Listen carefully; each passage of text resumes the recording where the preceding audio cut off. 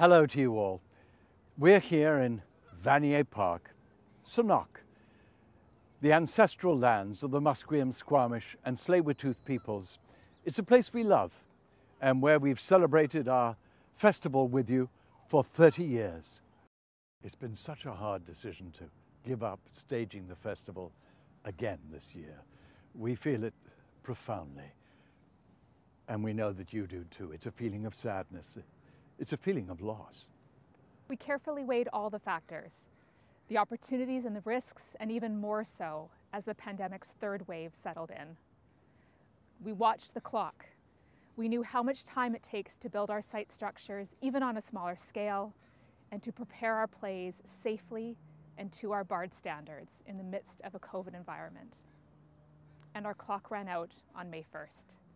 But we know we made the right decision for BARD to keep our teams and community safe, to honor artistic quality, and to protect our financial future. We have a brilliant creative team working on plans for the season we'll bring you online and through other means, and we'll have much more to tell you about that in the weeks to come.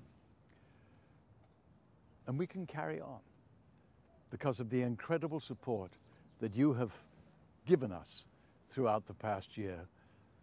Thank you for your love, for your loyalty. It truly lifts us up. And we'll be here together again under the tents in 2022. For now and always, here's to Bard. We, will, play, on.